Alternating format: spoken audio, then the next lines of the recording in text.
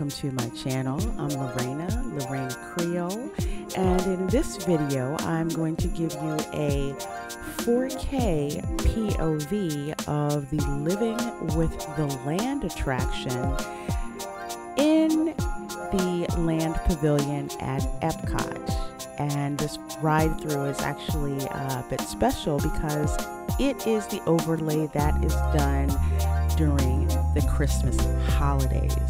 So sit back, relax, and enjoy the ride.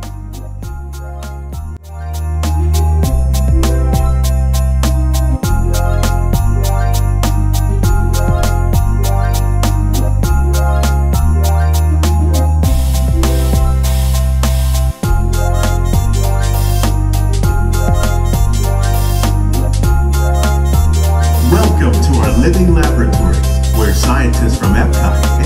U.S. Department of Agriculture are exploring innovative ways to produce bountiful harvests now and into the future.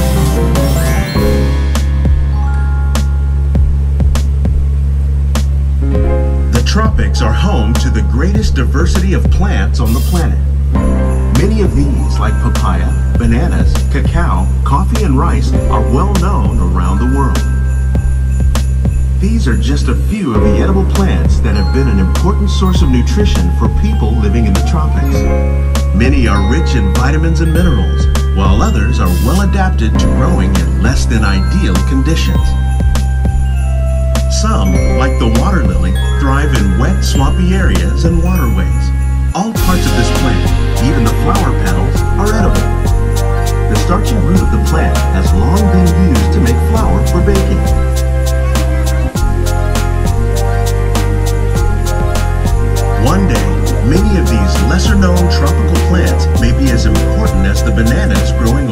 sides of the boat.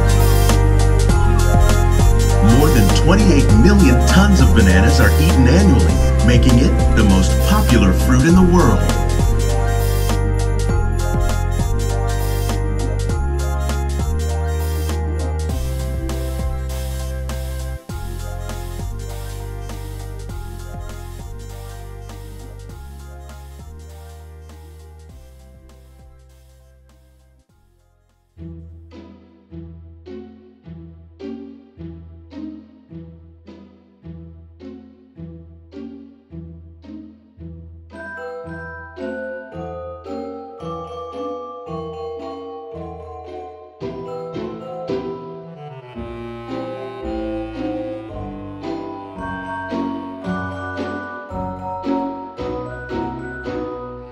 When we mention farming, you probably don't think of fish.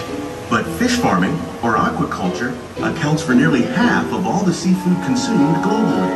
Tilapia, bass, and catfish, like the ones you see here, are three of the more popular crops raised by fish farmers. The sustainable system we're using here recycles the water in the tanks. As a result, we're able to save millions of gallons each year.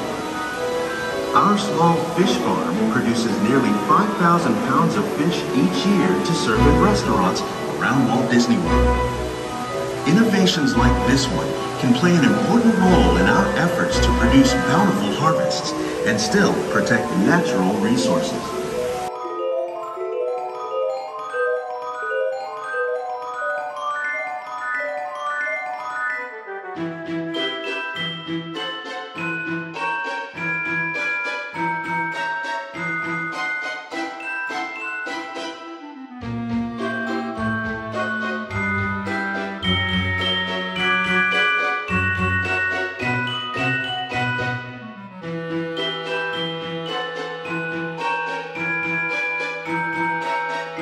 While there are more than 50,000 edible plant species in the world, most of us are only familiar with the handful that make up our everyday diet. The common grains growing here, wheat, maize, sorghum, and millet, plus rice, account for nearly two-thirds of our global food consumption. Learning how to increase yields of these staples is an important goal of research around the world.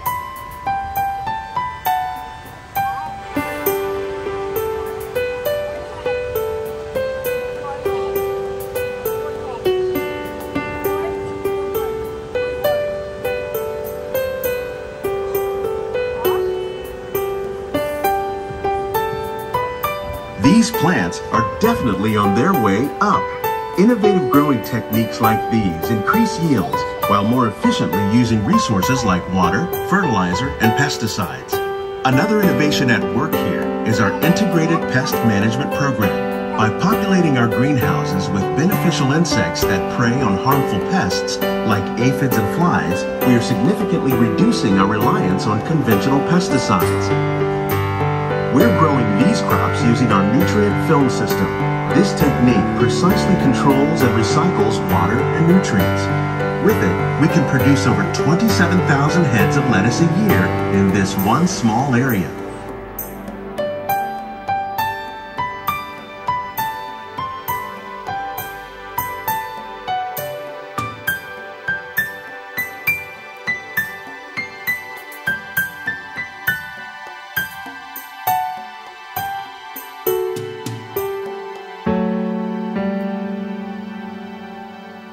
Some of our best ideas have been inspired by nature, like these fruit and vegetable trees. By growing these ground plants vertically, we can increase yields and better control diseases. These crops taste as good as they look. In fact, we serve more than 15 tons of produce from our greenhouses in restaurants here at the land every year.